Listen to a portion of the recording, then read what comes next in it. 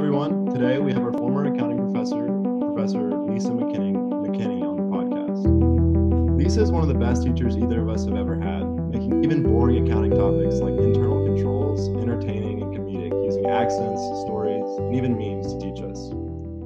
In our first class session, I knew it was going to be different when she started off by saying that it was the 130th time that she had taught that class. In addition, to, in addition to being a professor, she is the director of the university's second largest community service program called the LIFT program. This program is designed to reach out to the Tuscaloosa communities and use both financial and human capital to improve the job skills of the adults and teen, the adult and teen populations, both on the student and subject sides. This organization mobilizes hundreds of students every semester into the community to do good. It helps the student and the community to develop into something greater than they were before. When I was in it, I did it. When I was in it, I did a business fundamentals class where we taught a local high school twice a week. And Louis, what were you doing? Lisa and I went to prison like six times. It was great. We, we taught computer literacy and financial literacy skills, Excel, Microsoft Word, and entrepreneurship to the inmates in Bibb County. Awesome. Interestingly enough, Louis and I actually sat on the same row of your classroom for months without knowing it and, and met each other. Uh, but with that, let's get into it. We can start with our questions, Louis. Cool. So, uh, how we know you as a professor, you know, you're very loud and outgoing and funny and involved in community service. Uh, were you like that, like your whole life as a kid? Were you loud and kind of in charge of the going on, and or were you kind of a shy kid? And um, I think I was nervous and, and shy and kind of and nerdy. Um, I always cared about doing well in school, but then when I got into high school, I kind of got with the fun kids and had a good time.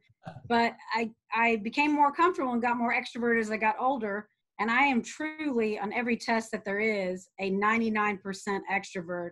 Oh and God. I've learned that during this quarantine because I am miserable. The definition of an extrovert, I've been told, is somebody that gets their energy from other people and an introvert is someone that gets their energy by being alone. I feel like I'm withering up. I'm trying to get used to doing Zoom calls and doing things, but I truly miss being next to people and being in a group of people. And it's, I mean, we're all having to adapt to it, but I'm really struggling. So I think I've always been a strong extrovert. I always did enjoy learning. I never had a problem with that. Now, there are some boring classes, no doubt. I always make fun of literature classes, yeah, but funny. I I never really hated school. Um, and I think that I've always been at heart though an extrovert in that what gets me up every day are the people around me and interacting with them. And a big thing to me that's been my whole life is I love people that are different. If mm. you're from a different country, if you're from a different background, those are always the people I would seek out. I was always bored with somebody that was just like me. So I've really all my life sought out somebody that looked different, act different, talk different. Um, I love the differences in people. And I think that's been something I've always tried to find those kind of people in my life. Sure. Thank you. That's, that's great stuff. Uh, so you said you've always loved learning, not really been hating school. Uh, so when you decided to go to University of Alabama, how did you decide on accounting? So that's I, I bumbled into it. My dad was an accountant in the U.S. Air Force, and we mm-hmm. always like to joke about. He would tell us how hard it was in Thailand and Laos, and we'd be like, "Dude, did you get a calculator burn?" Because he wasn't exactly on the front lines, and we kind of like to tease him when he talks about Vietnam. Because I was in my mom's belly when he was in Vietnam, but um, and we have some interesting furniture from Thailand because of it. But that's where it started. He, I have a very small family, and I've told this story before, but the only two real career paths in each side of my family are accountants and clowns. And I don't think you could actually make that up. You've mixed uh, a lot of my family, yeah, professors both. But a lot of my family are in Connecticut. Um, and we used to be in New York. So we're true Yankees. The other side's in Illinois, but we're Yankees. And several of the Connecticut family are clowns. Literally, parties. I can't make that up. They had a, a, business called Juggle Joy. They were Irish clowns, and then sometimes they bring out the Irish clown Clover. So all I have as a background is accountants and clowns. one, choice for you. Yeah, clowning doesn't make a lot of money.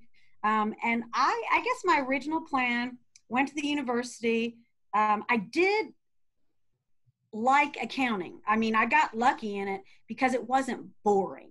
Um, I'd always kind of joke, you've heard me say in class, you don't have to be a genius to do accounting. And I'm certainly not. And I always try to tell students, I'm not that smart, as you can tell. Accounting was something, and business was something I realized that I didn't have to be a genius, and hard work and dedication was going to get me as far as I needed to go. And so maybe Calculus 3 wasn't for me, um, but counting challenged me and had me think differently, and I liked that. And then why I stayed in it is I saw the value of it. I think mm-hmm. in school I saw I didn't get how you use this. I never got the power that accounting gives you. And you know, I say it all the time. It's the language of business. I don't think I really got that until I was in business and I was like, money is being allocated, resources are being allocated based on accounting. If you don't get accounting, you're locked out of all that. Mm-hmm. So um, I got my accounting degree at UA. Um, I graduated in 94 and then I got my master's in tax. And why I ended up in tax was I had considered going to law school, and tax is all law. And I always kind of joke about this. The main two career paths for accountants are audit, auditors, and tax. And auditors, um, it's better if you're a good rule follower. But I've always kind of been a rule breaker and a sketchy person. And tax was perfect for me because the whole point of tax was to try to find your way around the rules and be sketchy. And so I always say in my classes, my best friend's an auditor. She's a partner in a Memphis accounting firm. And she stops at stop signs and says the letters STOP to make sure she comes to a complete stop. That's an auditor. She loves being an auditor. I'm the person that will absolutely go through the stop sign if possible. That's a tax person. Well, so, I'm an accounting major, so I think you might have just convinced me to. tax is just it's all arguments it's all twisting things it's so much more fun and you can't really see that in school. Auditing is making sure someone is following the rules. As a person that doesn't like to follow rules it would have been a terrible choice for me. Yes ma'am and you said you, you came to the university in 94 and you you were there presumably for about six years and then you came so back. i graduated from undergraduate in 94 and graduate in 95 so i started in 90 so, uh-huh. and that was such a fun time. The university then only had 19,000 people and tuition was $950 oh. because I got my presidential scholarship and it would be $950. The dorm was $950. They're almost exactly the same. Can you believe that? Yeah. That was going to be my question was, was how has the culture of the university changed over the years? Yeah, you've been there so a lot. when I, that's a great question. When I went here, there was a ton of in-state students it sure. was at that time gosh i don't even know the numbers but i just if you saw people from out of state it wasn't common now it's been so remember me t- saying how much i love people that are different.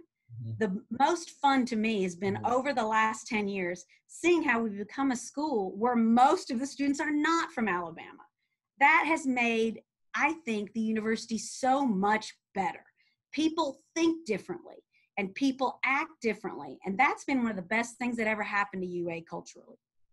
That's awesome.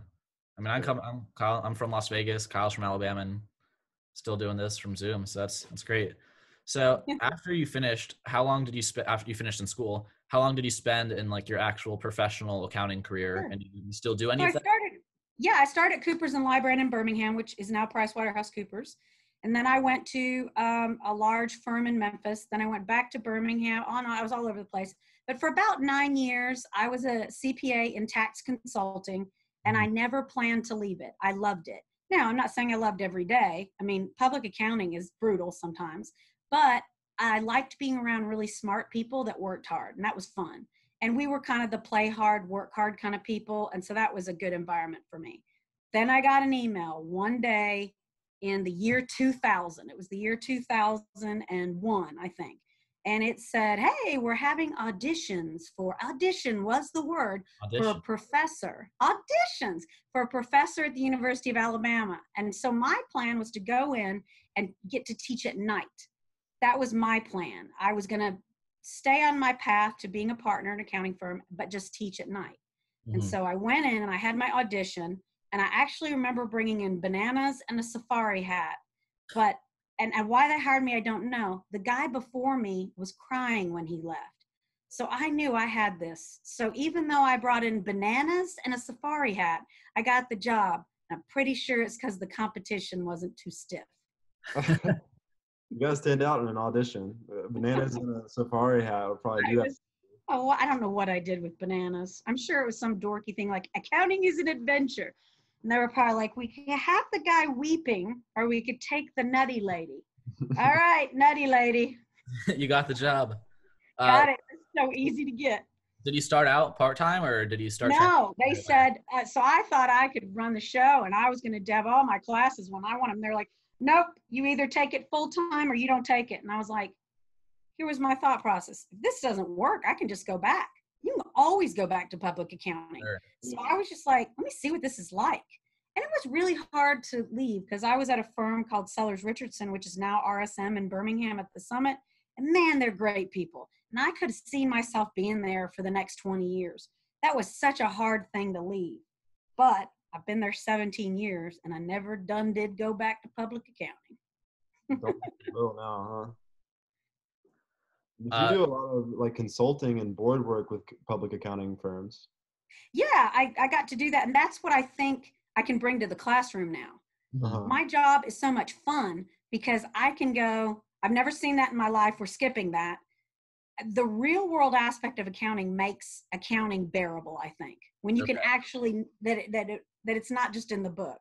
So that is why I've stayed at this job and loved it is I learned so much in those nine years because public accounting is you need to multiply the years times three or maybe like times seven for dog years, maybe seven. So I was in there 63 years um, you learn so much because you work seven days a week 14 hours a day and so the fun to me was i get to bring back all these stories and the reality that has been such a joy because remember i'm an extrovert and it is all about the people Yeah. So, what's been your biggest challenge in being a professor at UA? Uh, I guess starting out, what was the biggest challenge for you? i was very very bored I realized I I was so bored, I couldn't even stand it. I was used to working 80, 90, 100, 110, even charged 120 hours one week. I loved to work. I loved having a group of people and being really active. So that's when I started trying to find something else to do. Okay. So I started doing continuing education, and I still do that where I teach at accounting firms, and I love that. Then I was still bored. So I started the Culverhouse Lift program, and mm-hmm. I now I'm back to working 120 hours a week, and I'm as happy as I could ever be. So I was bored. And so you're not bored now. Well, a little bit because of No. quarantine, but maybe not. not not not bored. That's good. Uh, so back to teaching accounting for a 2nd Mhm. Well, for non-accounting people or people that haven't taken any accounting classes, what would you say are like the one, two, or three fundamental things just a layperson should know about accounting? you know, it kind of goes back to the first thing is whatever you're going to do, I always joke, unless you're going to live on an island as a hippie and only barter, then you should take a basic accounting class. I always bring up my husband, who's an orthodontist, and I make a lot of jokes about it, but he took accounting, and man, is that smart. You are locking yourself out of the world of money if you can't try to understand accounting. Here's the second thing it's not as hard as you think it is. And you guys remember this mm-hmm. it's common sense and logic. When we have an account that has the cost of a building, we call the account building. If you've paid for your rent already, you've paid for it, we call it prepaid rent. We're not trying to hide things. You're not, that's the whole point. You can't hide things. Anybody can understand accounting because all you have to do is break through and get the common sense. Not everybody can understand chemical engineering, covalent bonds. Mhm. This everybody can do. You're a evangelist for accounting. I love it. That's right. Bring it to the people. So, Uh-huh. um, and, and here, maybe you asked for three things. The third thing, it's not as boring as it appears. I get bored in the Winn Dixie line if one person is in front of me. I have the attention span of a gnat. I get bored. It's terrible how bad I get. How would I have made it this long in accounting if it was that boring? It's not. What you see in a textbook seems boring. well, uh, look, it seems like you just started doing other things. Uh, I did. I had more, I needed to do more things. But you know what? I still love accounting. It's still interesting. It is not dull because if you can just pull up the financial statements of Apple and look and see that they have $300 billion in cash, that's so interesting. And you can say they're going to buy Disney. you can make right. claims like that. Then, you know, Tesla, that's always one to look up. They're fun. Yeah. Uh, what's the story again about Leonardo da Vinci's friend? I like the way you tell that story about his, his guy. So the guy that invented uh, accounting is Luca Pacioli, P-A-C-I-O-L-I. Pull up his Wikipedia, and there's a picture of him, and in the background is Leonardo da Vinci. His best friend was Leonardo da Vinci. He was a monk, and in 1494 in Venice, Italy, he invented the accounting equation, the balance sheet, the income statement, and we haven't changed it in over 500 years. Apple uses the language he created, and it's not been modified. That is unbelievable. Yeah, and um, do you know the only thing that Da Vinci ever actually published in his life was in Pacchio or Pacioli's um, math book that he published. I didn't know that. And yeah. it might be Pacioli. Because I'm not sure what it is. It could be. I don't know because nobody likes to talk about him. nobody wants to bring that up at a party. But yeah, I the picture of him in Wikipedia is hilarious. But I didn't know that Leonardo da Vinci that was the only thing he published? He never published in his life. Yeah, everything that he would do, he would either keep himself or continue to refine. I, I read um, the Walter Isaacson uh, biography, or half of it, earlier this yeah. year, and that was one of the things that he touched on. Um, it's like a, a octahedron, I think, is the, the rhombododecaedron. Yeah. That's in the Wikipedia too. Yes. that drawing. Why do we need that? Who is using the rhombododecaedron? Not accounting. Yeah. yeah. Uh, what's something that you think a lot of professors do wrong that could be easy to correct to improve the quality of their classes or learning experience for the students? I think one of the things that sometimes they do wrong is they're not reading their audience and looking at their audience. What I'm trying to do the whole time is go, all right, I know some people are always not going to be paying attention, but have I lost the room? If I've lost the room, I can feel it and I need to back up or move forward. You are, you have to watch that audience and look at everybody in the eye, and you will see the physical movements that indicate they don't know what you're doing, they don't care what you're doing, and you've got to adjust and adapt and try to pull it together. So I'm always looking at people. I like to walk around when I teach. The only reason I'm walking around is because I'm trying to look at different people I can feel their vibe. I know that sounds corny, but I can feel in the room when everyone is miserable. I don't know. It's almost like these little molecules are flying around of misery. And then I'm like, all right, all right, let's do something else. The other hard thing to do, I think we all have trouble with, is we've got super smart people, we've got people that are struggling, and everybody in the middle. How do you teach to everybody? You're boring somebody while somebody else is lost. So again, it comes down to trying to really talk to people and feel it. And then I like to ask people. But the whole reading of the slides and not watching what's happening in the audience is garbage. Mm-hmm. So it's yeah. I, you know I and, and I've had to I've had to been um, taping my online classes, which is like pulling my hair out strand by strand because I always say if I had to do online I wouldn't do it. Well, now I'm doing it. I'm it was at first my first few videos it was hard and then I just pretended those people were there and I just talked and act like they were there. I paused. I think I'm going to do Zooms and uh, things like that because I think I'm going to need to connect mm-hmm. with them and I think they're going to need to connect with me. So I've done these online videos, but I'm realizing I'm going to have to see some of these people in the face, you know, for the upper level classes at least. Yeah. It'll be really interesting to see how all of this plays out with the the quarantine and online courses. and, like the long It's going to be hilarious. I saw some memes and videos making fun of professors and they're terrible. You know how bad we're gonna be. Like Yeah. there's been some memes of the professor being like, "Hello," you know, not if you can't even see them, and they're They're they're just, oh. Or they're way too close. No. yes, yes, I saw that. But, Though. you know, trying to get better. Online stinks for me, but it, it, I'm getting better. You know, It's gonna be a learning curve for everybody. Uh, I think be a lot I keep hearing that the learning curve. learning curve. That's funny. Uh, but yeah, so that was a great discussion about you in the classroom and see a lot of your enthusiasm that explains your energy and all that. Let's go a little bit more into uh, the Lift program. Can you explain why you started it and kind of how it started? Uh, the general backstory on that being founded. Yeah, August 1994, uh, 1994, 2014, a student named David Hose came in my office. He uh, was a graduate accounting student, then he went to Ernst & Young, and now he is the finance and IT senior manager for Peloton in New York City. That's awesome. He did that in six years. He is some, he walked into my office and he said, I've been trying to find a way to get business students to help in the community. And I said, No, that's my idea. I've been having that idea. And we always joked about how we didn't know how to cook, we didn't know how to give people shots to give them vaccines, but we were always trying to make a difference in the community. And we were both bored. He was bored too. So he's we sat down and within a week we begged for money for 10 terrible computers and we went out to a community center in the low income district and started having computer classes. And over the last uh, six years we've grown from that little me and david being the only people doing it to 575 volunteers.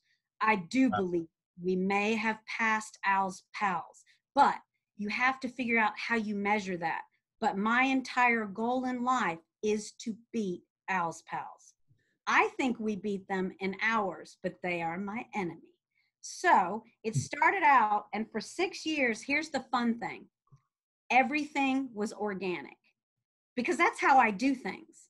Mm-hmm. I don't sit down and strategically plan, which makes UA mad at me all the time because they're like, What are your goals and objectives? I'm like, Do this again. I have no goals and objectives. LIFT has grown to 60 classes a week this semester, 575 student volunteers and leaders without me trying to make it bigger. Every time a student came to me and said, I want to do this, I want to go here, or somebody in the community said, I heard you were doing this, would you consider doing this? It's so much fun that way. For example, uh, a student came to me in November last year and said, have you thought of going to the juvenile detention center? I thought, no. And she said, I know people uh, that work there and nobody comes out to the juvenile detention center, which is like teen jail, if you think about it. And so we started two classes at juvenile detention center and they're awesome. It is literally teen jail, but that's been fantastic. I never thought of that idea. A student wanted to do it and then it happened. Everything is lift had nothing to do with me. It had someone else that brought it to me. So, again, every year it's grown. So that was August 2014. So you can see we've got six years, right? Um, and we were supposed to be the subject of Bama Blitz. I don't know if you've heard of Bama Blitz. It was about. It was supposed to kick off like this week, and it's a uh, it a a fundraising? fundraising campaign. I guess I was getting that helicopter I always wanted, but we had it canceled, and we will be the subject of Bama Blitz in the fall. But that's a university-wide fundraiser among alumni. Okay. So LIFT will finally have a budget. LIFT has never had a budget, never had a line item. So It's the biggest community service organization on campus, and it's operating without a budget. We're gonna have to It's hilarious. intro. which we it's so funny i mean we have pieced it together and you know and people you know i'll see people with uh, organizations they'll be like we received a three million dollar grant and i'm like we have nine crappy dells and i'll pick you up in my car. I mean it's just the worst. But you get the fun of it has been here's a secret i'm going to tell you. If you are not a line item line item on the ua budget you have you can do a lot of things when Yep. nobody is paying attention to you you don't cost anybody money you can do whatever you want That's been the secret of Lift. It never would have got here. We would have a staff of 95 people telling me what to do and me filling out rubrics. But there's no such thing because we haven't costed money. so that's been our greatest secret is that we are the cheapest community organization you have ever seen. Mm. I don't get paid for it and I don't want to. Mhm. because look at universities that have community or just community foundations. And you'll hear something like the uh, president of that community foundation makes a million dollars. How do you feel when you hear that? I get depressed. I'm like dude you're doing it for a job. We're all in it and we're all not making money. Now let's go do something. Heck yeah. That's And You've got something like 20 graduate students. Like, so now uh, we have seven graduate assistants okay. that for 211 uh, the now the 210 class sold 211 and that's been something that our department head rich houston has helped me with. Boy has that helped me but they're like my seven best friends. Every year they change and i get new graduate assistants but that's that's my team. I guess that's like the seven doors. I haven't thought about it. Used to be one no people then it was two people and now we're up to seven and those are graduate assistants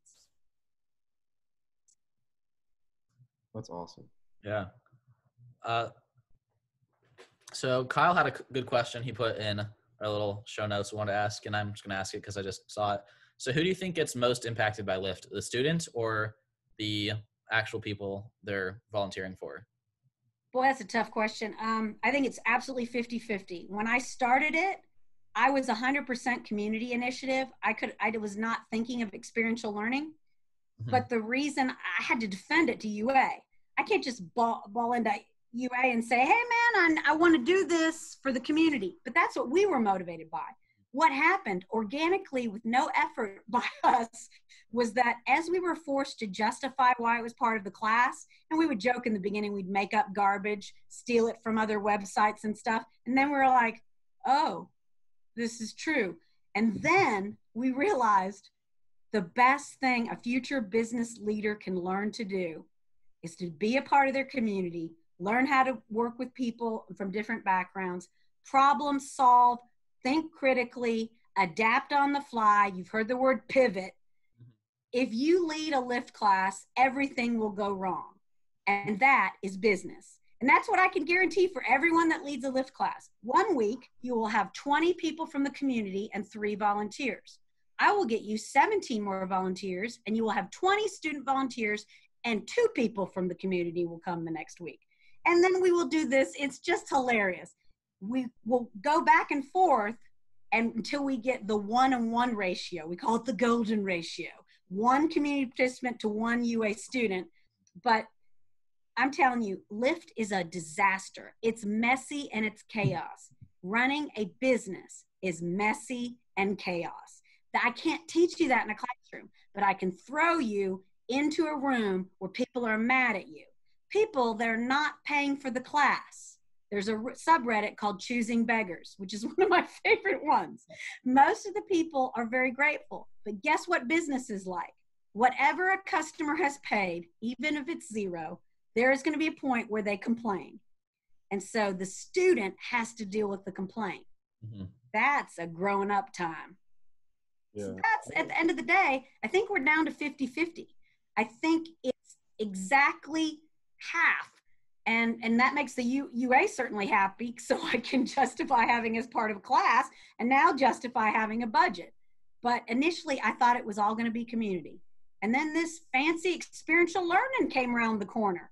And you know, that's been the Uh-huh. hottest thing. Yeah. 10 years ago, there's no such thing. We Yeah. didn't think. I learned so much from from my lift my lift class of um, you know about the community. Like we we went into a, a low income high school, Central High School, and um, across the street is where like all of the people that have money basically that go to Alabama live in that big like park view. Like it's basically mansions for students, and across the street Yes.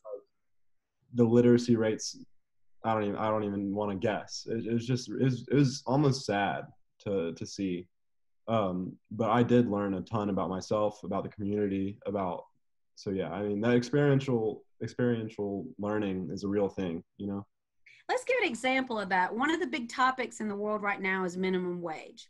Okay. So if I, my family has already always had, you know, decent money and never had money problems, and I've never really seen it. I don't understand what living on minimum wage looks like. When you go into a high school where 90% of people get free lunches and you start interacting with them and you start talking about them with finances, think about when you're a business leader down the road. Won't that experience impact you and make you a more compassionate and better business leader? Your generation of people is not putting up with the greedy corporate jerks as much as our generation did. There's a real push, and I don't know when it will ever topple over, but 30 years ago or 20 years ago, nobody complained about corporate greed like they do now. There's a huge movement. We even have a presidential candidate solely, right? I mean, Bernie is solely behind toppling these cor- corporate greedy giants. So that movement is getting bigger and bigger. So, whichever side of the fence you are politically, how about you just go and hang out with those people and then actually try to do a budget with them Yeah. or try to talk about all the issues. You'll hear people say, well, they don't have money, but they had money for a phone, but I got, all right. Did you know any of these people? Did you talk to them about this? Let's, you don't know anything until you sit down with those kids and you understand that they don't have an ACT tutor and no ACT classes, so they got a 16. You had an ACT tutor and you got a 34. From that moment on, your lives will never be close to the same. Yeah. And so, whatever political stance you have, I'm glad that you can have it. You know, some people are like, Are you a flaming liberal? Are you a Republican? You know what? I don't care about any of that. What I want you to do is go out there with me and then make your decision on how you want to do things. If you still want to pay only minimum wage, then you have had an education and you've seen what it's like. But you might, at the very least, understand the struggles of the people that are making the stuff in the factory when you're making the million dollar salary. At least it's a qualified decision once you've seen. Yeah, whatever your decision is going to be, at least I've exposed you to something. Mhm. Absolutely. I think there's so many students, and like you're saying uh, earlier at the beginning of this, you have students coming into Alabama from everywhere. Uh, Mhm. When previously it was just people in the state, and you're showing this perspective, especially you know, College of Business is very popular with the out-of-state students. Uh, these people come from California, New York, Nevada, just all these states very far from Alabama, and putting them in these completely different environments unlike anything they've ever would have seen otherwise uh, going into prisons, going into the VA, going into high schools, elementary schools, and saying, look, these are, it's a completely different experience talking about it versus going in and doing it. Uh, how are you able to structure it into the class? Because that's a really interesting incentive, stru- not incentive structure, I want to say, but you just found a way to ensure people will do it. Can you? So that's funny. In the beginning, we so stumbled around. Yeah, we had no structure in the beginning. And I started offering it for extra credit in some of my classes. I had a big backlash among several professors that said students should not get extra credit for doing this garbage. And I was like, oh, ho, ho, now you're bringing it on. So from that moment on, we worked to structure it so that we could defend it. I wasn't ready for that, and it was easy to defend. So it became the lab component for the honors AC 210 class. And the AC 210, now 211, Intro to Financial Accounting class, there used to be only one honors section of 40. Then it became an honors section of 100. Now it's three honors sections. So um, that was there. There's my 300 volunteers right there. There's the start of 300. Then it became its own lift class.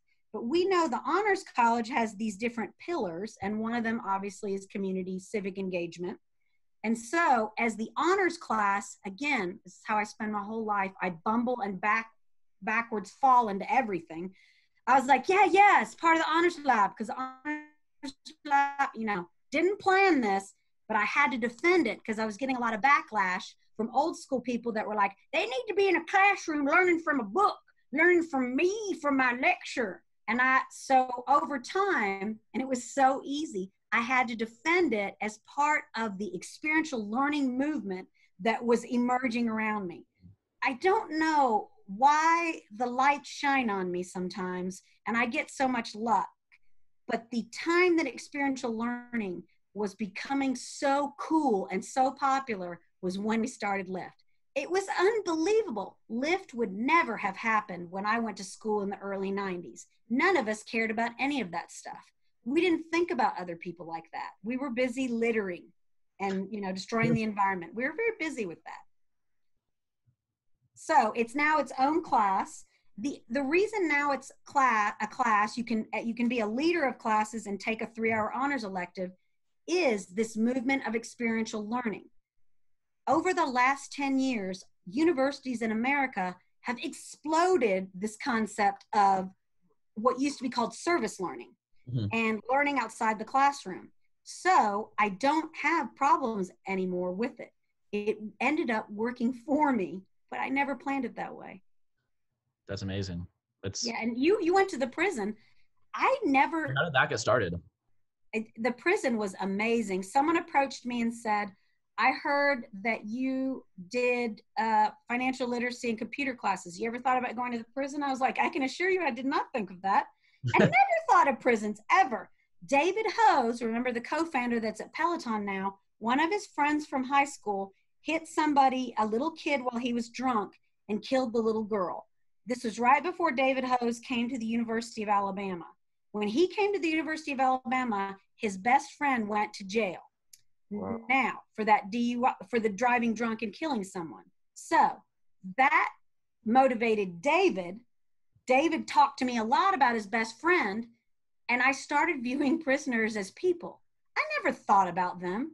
Mm-hmm. And I and I went, you know, I always tell the joke about I went to the university and I was like, hey, could I take a bunch of guys to Bibb Correctional? And they were like, blankety blank, no. And I was like, all right then. So I wrote up something. I was like, let me try this. What if it was? And they were like, no. I spent a whole four months being told no, and then someone said yes, and then here we are. And you know what a cool experience that was. Mm-hmm. I totally have compassion for inmates now I, I did, and now I understand the cost to society of a terrible correctional system. Mm-hmm. I didn't understand. I'd always read an article about Alabama has the worst corrections department in the whole universe. And I'd be like, well, you know, I, I don't really care about that. Now I talk to people that have been in for 25 years. And honestly, I do know what they've done a lot of the time. They'll sometimes talk to me about it and I'll see a person that I've worked with for six months that I feel some of them two years in my mind feels like they could make a contribution to society, mm-hmm. but they're not getting out anytime soon. And I'm like, okay, we're spending $30,000 a year, keep you in here. Everything's a mess. What a disaster. And the minute you get out, you won't be able to do anything because nobody wants to hire you. I think that's what you saw, right? Mm-hmm. What, what, what, uh, what did you get out of the prison thing? I, I definitely got a similar experience. Um, I a lot of those guys I like you instructed us or kind of advised us to do while we're in the program. Don't be overly curious about the backstory and the history of the people you're talking to because that might uh, have an effect on your ability to have a normal conversation yes. with them and just act like uh, two people hanging out trying to play solitaire for a couple hours or make some make some powerpoints or try to draw some fun things in Microsoft Paint because definitely no internet access. That would be no that would be, internet. That would be that would be a step too far.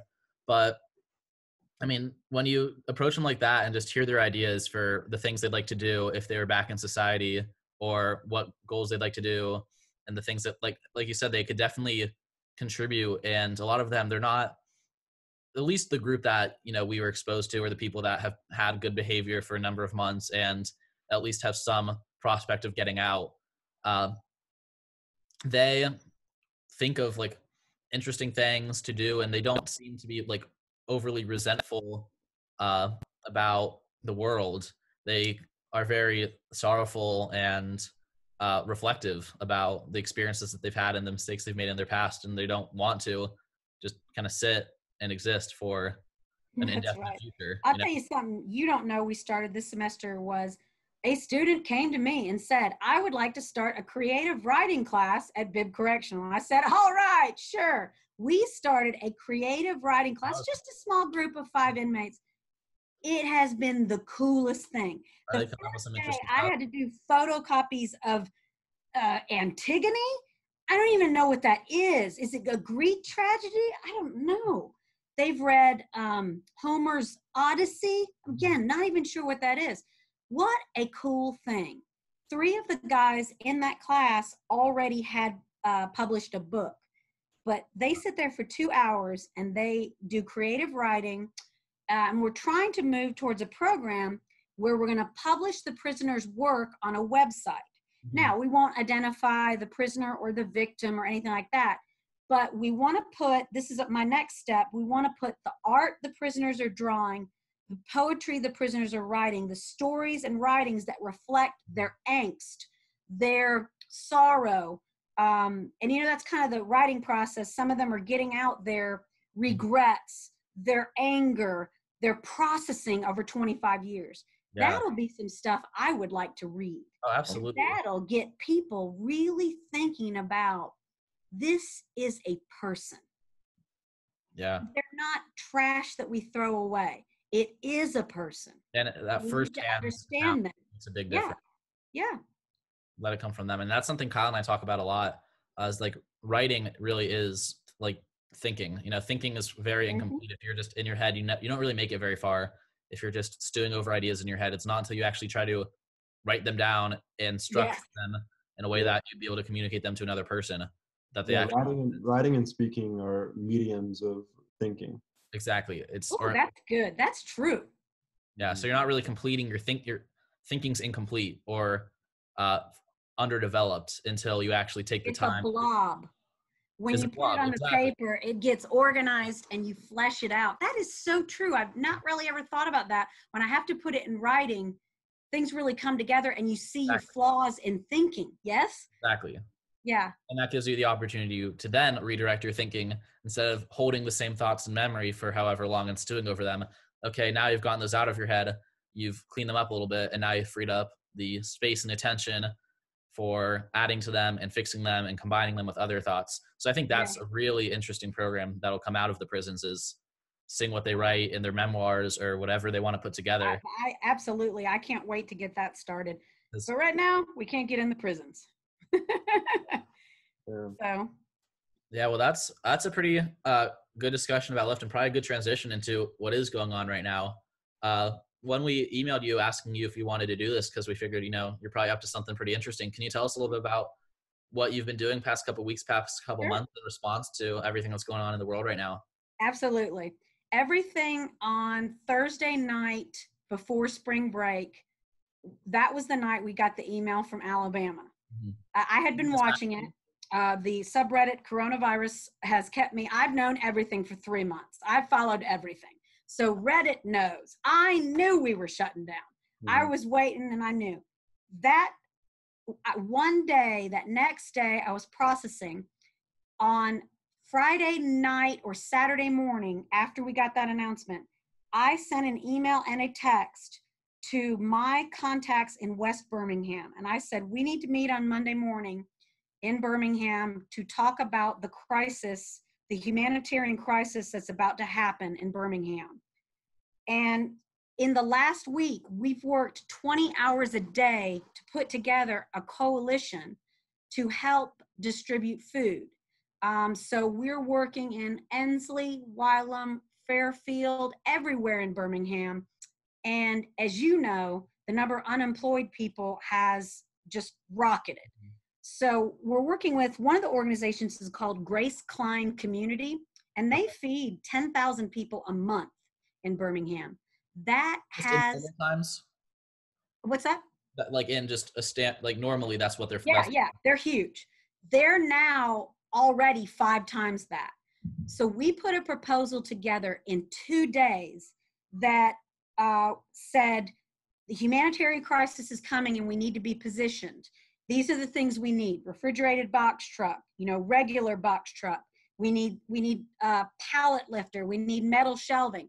So we set up these hubs where we're going to distribute from, and we set up an organization where there's going to be the least amount of contact with the end user.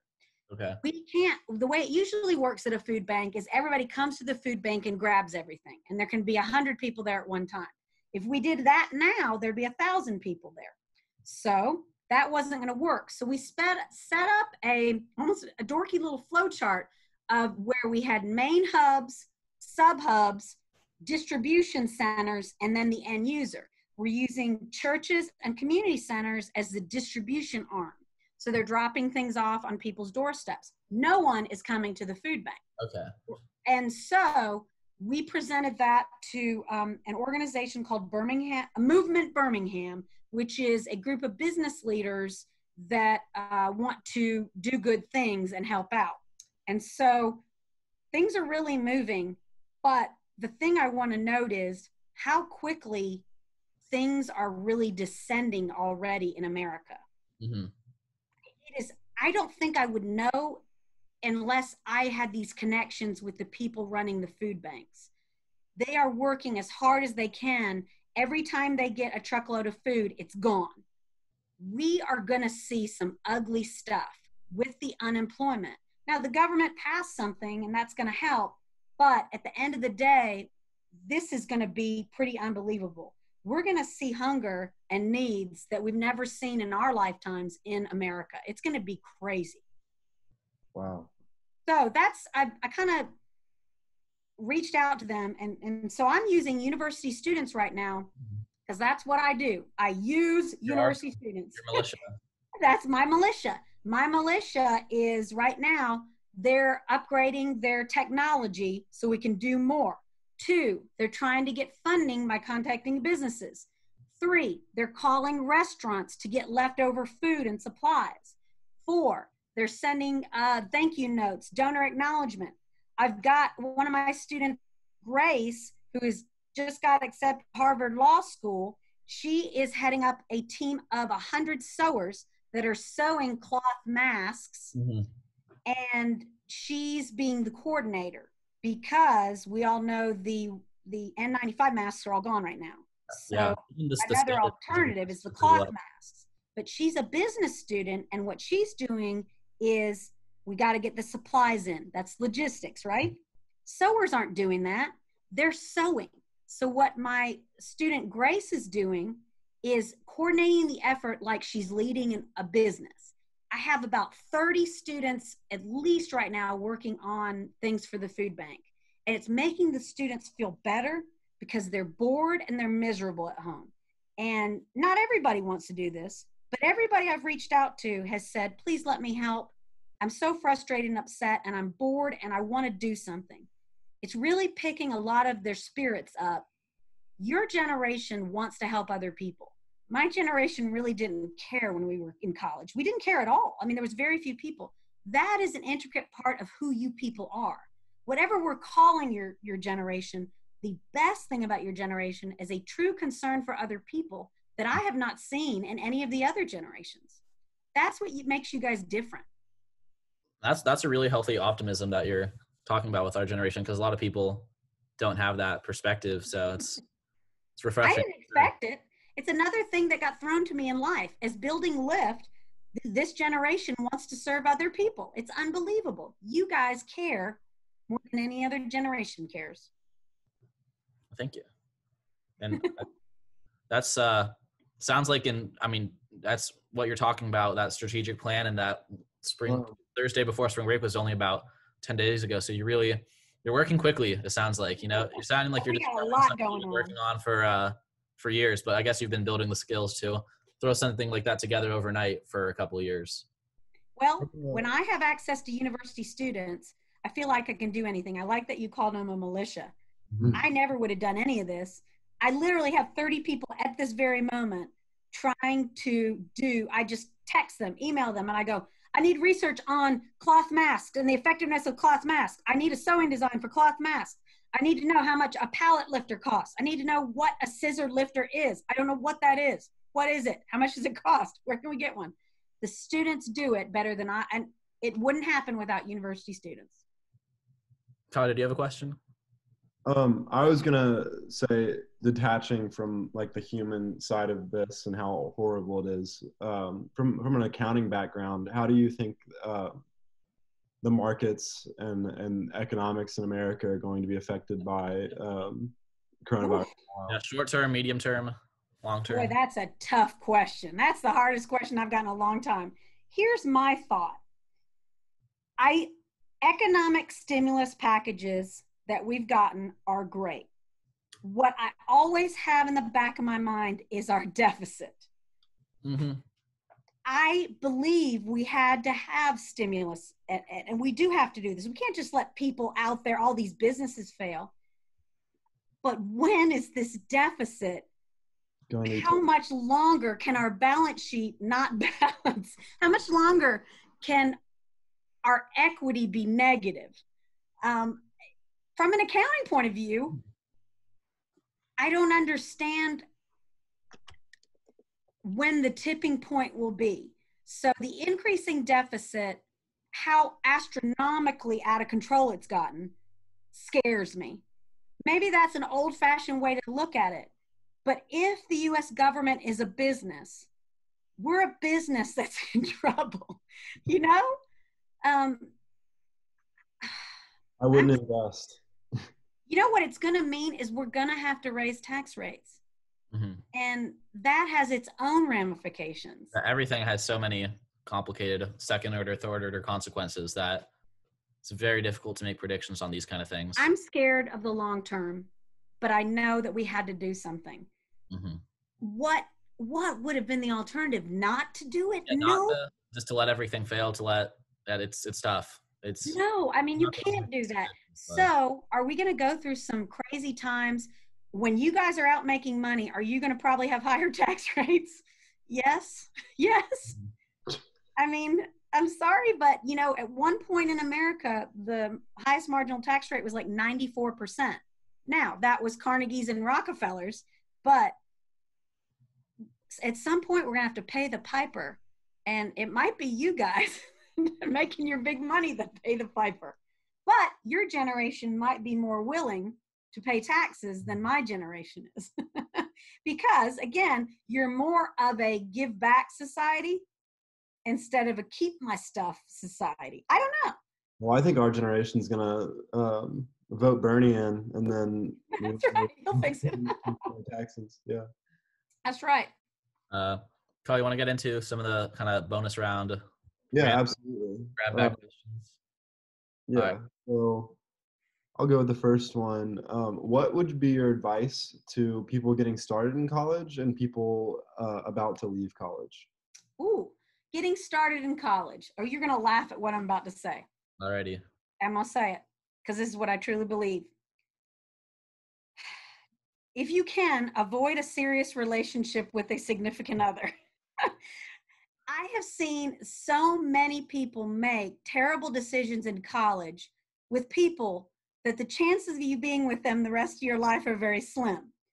Tone down the drama in college with your significant other relationships. I'm sorry, I really feel that is advice I will give to my kids when they're in college. For goodness sake, why do you have to have a serious person right now? Why? Why can't you just grow and not have insecurities and jealousies of other people? You know, I don't know if you guys see your friends doing this, not doing things because they have a significant other that They is look telling them not to do it. now. Kyle and I are laughing because Kyle has a pretty serious girlfriend. I'd say they've been. Well, and, and you know what? That's not for everybody. Yeah. She may let you do what you need to do in your life, and she may really have her your best intentions at heart. A lot of people don't. She may be a keeper and a winner, and good for you. You should keep her. But I think so many I see. I literally had a conversation a month ago with a girl that wasn't going to go to law school at Stanford because her musician boyfriend didn't want to leave uh, Nashville because he was about to be a success. I about threw something. I was like, so you're not going to go to Stanford Law School because of the musician boyfriend? Man, that's okay. There's my piece, first piece of advice. Here's my second one. That's a- Grades are uh, important and they open doors, yes. But if you can, in certain classes, establish a relationship with a professor and truly learn and truly understand a subject, that is what college is about, right? Mhm. So that sounds so simple to say, but how many people just stumble through for the stupid grades? They find nothing they're passionate about and they never they college doesn't happen for them. It needs to be a renaissance. It Mhm. needs to be a time where you go, "Man, I love this. Man, I hate this." And push your life in those directions. Be malleable and be willing to pivot as you learn what excites you. I think that's great. And as leaving college, is that was the other one? Yes, leaving college. around? Whew. Leaving college. Okay. The first job that you take, you don't have to stay long at, so don't freak out. Just take something that's a good stepping stone and don't necessarily make your first decision on money. I will see students that will be like, I am taking the $49,000 job over the $48,000 job. And I'm like, what? Who cares? You won't care. The, that's not going to make any difference. The initial salary is actually not that important. The upward mobility and potential is all that matters. I've heard that So- before so many times. I know I'm always like, really? $2,000 changed your decision? Really? Mhm. That's so dumb. Uh, this is a, a fun question. I know you've brought up Reddit in this conversation a couple times and in class a bunch of times. Uh, so, like, who are your favorite people on the internet, or where your favorite places to go? Uh, who do you follow on YouTube, or what subreddits are you into right now? I'm really, I am. I'm just unabashedly into Reddit. I think there's some really smart people out there on Reddit. They say things that make me laugh or I start to cry. I, I mean, that's awesome. Not stupid humor, even just people with their one liners. Mhm. Um, so I really enjoyed, enjoyed's not the right word, the coronavirus um, website because I feel like I've known what's going on and saw things coming. Mhm. Um, I like um, there's oh so much joy I have on the with Reddit. I enjoy the choosing beggars, the uh, thanks I hate it, the idiots in cars, the divorced birds. oh, there's so many. I get it's I never thought I would be this kind of person that would enjoy Reddit so much. A couple students mentioned it to me. I feel like I know these people. I don't know why I get such a kick out of it. I love the ability to hone in in 10 seconds on exactly what I want to hear people talking about. Maybe that's it. And it could be serious stuff and it could be stupid stuff, relationship stuff, kids stuff. what to expect. I, I can find it and then I can see a thousand people talking about it. Remember me going back to saying I liked different people and I liked what different people thought. Mhm. I am a gray person, not a black and white person. And I love to hear both sides of an argument and I love to see both sides of an argument. I I want to understand what people on both sides are thinking. People that like Trump, why do you like him? People that hate Trump, boy, that's 99% of Reddit. You can get that covered. All right. Bernie scares me because of the high tax rates. Why do you like Bernie? I Yeah. want to hear that from a thousand different people. So I'll probably resonate with one of them. That's So interesting. I'm also big into audiobooks. So Okay. I love nonfiction audiobooks. Uh, right now, this is a really creepy choice. I'm reading um, about the 1918 pandemic flu, which is creepy and depressing. Um, but I like Comes back like it like the Spanish. I know it's you you listen to it and you go, "Oh, it's exactly the same thing. The race for a cure, a vaccine, people making bad decisions, people being warned and one person saying do this." You're Yeah. kind of like, "This is happening again." Nothing. Yeah. Me and Louis were trying to study the markets surrounding uh, the Spanish flu and, and and what you know what we could draw from it, but it was it was kind of um, tough because of the being sandwiched between two world wars. You know. Yeah, I mean, Yeah. exactly because you're right. It was that that's and that's what a lot about the book talks about is we can't separate what was going on. Yeah. You're right. You don't. That's that's brilliant that you get that. You're Yeah, right. so the human nature stayed the same, but the context, the you know, the government policies, the financial regulations, the just geopolitical climate of the world at the time, and obviously all the just changes in communication and information distribution from technology, uh, that's all different. So human human nature is the only real constant. You know, you're gonna have the people that ignore the consensus of experts Mhm. because they are just always cynical of anything that would disrupt their way of life. Then you have the people that are over panicking, and you have the people that are handling crisis and response horribly, and you have the people that are just in the middle, kind of waiting for other people to tell them what to do. And it's it's hard to. Something that stuck with me in the book when I was listening to it last night was this. I've been thinking about this. President Wilson was sending people over on these giant boats, troops, and the troops were deathly ill, and it was such a catastrophic thing to do. But here's what the book was saying. It made me think about it. This is a flaw of humanity. President Wilson was so fixated and fixed on the war effort that he couldn't see the other stuff. But to be successful and win at something, you have to be 100% fixed on it. Okay. So, what I was trying to see was that was a positive that all of his efforts were trying to get this war and, and win this war and get it done. Mhm. But the downside was that it, he totally ignored the other things. So, I was trying to think, uh, kind of applying that to my own life. If you really want to make something happen that's hard to do and really win at something, you do have to be all in. What is the line of I'm all in 100% focused. Think about Elon Musk. Elon Musk is the most focused, all in person there could be. sure. So, are his flaws similar to that? He's not seeing these other things. I mean, he tweeted the coronavirus is dumb like a month ago. He, no, he did not. He tweeted that the coronavirus panic is dumb, which might still be true. He did get ventilators, though. Remember, wasn't he the one a that thousand first got the ventilators. ventilators? Yeah. He But we'll see how he how he emerges from this. He's a controversial guy, isn't he? I love Elon Yeah, he was he was he, he used to be he could do no wrong in my eyes. I don't know. I haven't made up my opinion on him. But yet. he's a complex character. He's an absolute genius. And he's all in and 100% focused. Mhm. Is that the guy that's going to win? And what's going to be the consequence of being him all in and focused on building, building, building, going forward? Mhm. I don't know. It's it's an interesting thought.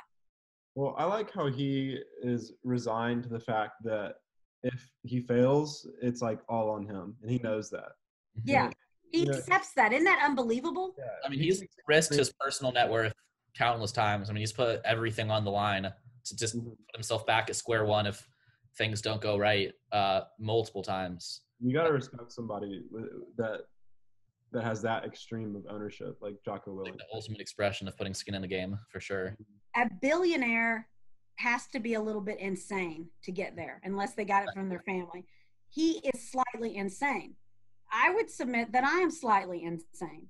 Um, you have to be a little kooky and crazy, and sometimes go, I'm betting on red 43 on the roulette wheel and I'm spinning and I'm putting it all on there. Those those people either end up being giant failures being giant successes, you know, Yeah. never anything in between. You kind of got to think which kind of person are you? You know, are you a person that is an all in, you know? Something to think about. Absolutely. Elon Musk certainly is the all in definition. You definitely seem to have that uh, all-in approach as well. Well, it's a little bit nutty too. I mean, you got to be a little bit crazy and nutty to do that. There's a fine line between um, genius and, Exactly. and uh, the opposite of genius. Um, who is the most interesting person that you know, and why are they the most interesting person that you know? Ooh. Most interesting person I know. Boy, you really got me there. or someone that comes to mind, you know, or a few. Can hear some candidates. Okay. I would say that one of the most interesting people I've ever met is a person I met in Haiti, in the country of Haiti, who was in rural Haiti when I took a bunch of students down there to teach business classes. And he was one of the smartest people I met, but he was in a situation that there was no way out of. Okay. He was 20 years old. His name was Richardson. And he had grown up around Port au Prince, Haiti. And I took university students down there to teach classes, and he was at some of the classes. He spoke three languages. He was brilliant. I've Haiti has been in a revolution the last year, so I haven't been able to go down there, but I've kind of kept up with him. He's one of the most remarkable people, and I would say that's what I view as interesting. A person that somehow has an extraordinarily high IQ, extraordinary work ethic, extraordinary intelligence and creativity, and I don't know where it came from. Mm-hmm. That's why he's so interesting. Okay. He wrote a poem to one of the UA students in French. So in Haiti, they speak Creole, and Richardson also speaks English, and also he knows French. He wrote this complicated poem to one of our students in French. The student also know, knew French. And that student started crying because he said it was the most brilliant thing he ever read. So I think a lot about him, and I think about what untapped potential, what a gem in society that has nowhere to go. Why is there nowhere for him to go? So that's a remarkable, interesting person to me. And that goes back to um, like the thing about I, that kid didn't have an ACT tutor, and from that moment right. forward, his life was completely different. And you know, you can apply that to like anyone, like all the kids in Africa might have an insurmountable amount of more potential than I have, but will never be able to even tap into that because of where they're born and their their situation. And it sounds like this Richardson guy uh, was born with that same um, that Rock. same disadvantage, but was able to, you know, in some ways rise above it. Kind of like Alexander Hamilton, like dropped in the middle of a forgotten spot and like right, right, rode his way out. Um, so that's interesting. That's that's, that's very. I would say a lot of the people I met have met on my trips to Haiti have changed me the most. And I guess when you say interesting, that is what I would say is interesting. People you'll think about that you haven't seen in a couple years that you wake up in the middle of the night and just start thinking about. So when I think interesting, I think remarkable. Um, and so I would say the people I met in Haiti, a lot of them were some of the most interesting, remarkable people I've ever met. Awesome. That's awesome. Yeah. Well, uh, Kyle, do you have anything left to go over? I think we got most of most of our questions out. Um, I don't know there's a lot that's running through my mind just because I can I'm picking up on things I remember from class and stuff. Yeah, like that. brings back a lot of stuff. I remember you you, you like to read a lot. You, you mentioned briefly the audiobooks. What are what are a couple books or three books that um, you'd recommend that we read and anybody sure. read? Oh yeah, I love nonfiction, and I don't know why. When I was young, I remember reading The Lord of the Rings in fourth grade um, because that was like 1980 or something and I loved all fiction. What's weird is in the last 10 years, I refuse to read fiction and I will get mad at fiction. I don't know why. I won't ring, so I'm all nonfiction. So I would say um, the story of Theranos is one of the best books. Theranos is this, it's a nonfiction book. The Wall, a Wall Street Journal editor wrote it. One of the best book. I think it's got the word blood in it. Elizabeth Holmes. That's yes, it talks about that's one of the best um, the story of how everybody got behind Theranos when it never had a product. They literally, it was like they had a Lego and they got $9 billion. I can't, I, that one just. Andreessen, some of the smartest VCs in the world put money into her hands. And she, it was senators, it was celebrities, it, it made no sense. Um, I've also, anything again that's nonfiction, I really enjoy. Uh, the one I told you I was reading was The Great Influenza. That is such a good book. That's a great one. Let's see. Oh, oh, I know. There is a series by a doctor named Gawande. Have y'all ever heard of this guy? He's had some bestsellers. Atul Gawande. This is a physician, and he's written books. One was called Being Mortal. Um, oh, Bad Blood was the Theranos one. But Atul Gawande, I've written three, read three of his books, and it talks about the human side of health, healthcare. That's been interesting. And here's another one. I have an obsession with North Korea. So oh, here's a great one. Nothing to Envy by Barbara Demick. Oh, that is just the best. And I love that. Okay, and finally, here's my last one Midnight in Chernobyl by Adam Higginbotham. And what's that So- one about?